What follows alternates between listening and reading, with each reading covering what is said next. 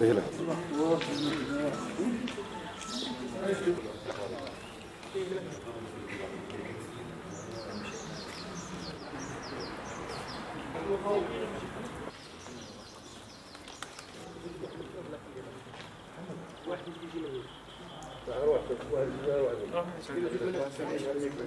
هنايا مسافة قريبة تمكن أفراد الفرقه الإقليمية الذكر الوطني بعلبية من الإطاحة بشبكة إجرامية منظمة خطيرة متكونة من ثمانية أفراد جلهم مسبوقين قضائيا مختصة في سرقة وسطو على المنازل كما قامت بعض ببعض العمليات السرقة بعد الاستغلال الجيد للمعلومات المتحصل عليها. تمكن أفراد التحقيق من تحديد هوية الفاعلين وإيقافهم في ظرف وجيز وقياسي.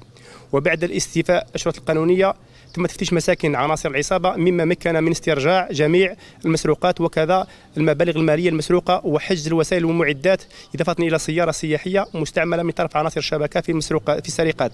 تم متابعة عناصر الشبكة الشبكة بجريمة تكوين جماعة اشرار والسرقة المقترنة بظرف الليل والتسلق وكذا إخفاء أشياء مسروقة وسيتم تقديمهم أمام السيد وكيل الجمهورية لدى محكمه أرزيو.